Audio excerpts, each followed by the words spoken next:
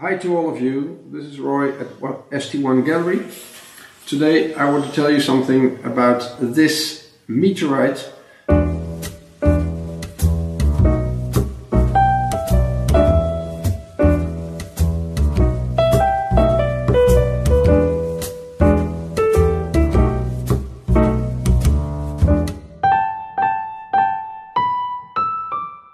This iron meteorite, it's called a Nantan meteorite uh, after the name Nantan, uh, locality Nantan in China, where it's been found. It's been found in 1958, and the total mass known is uh, around six tons.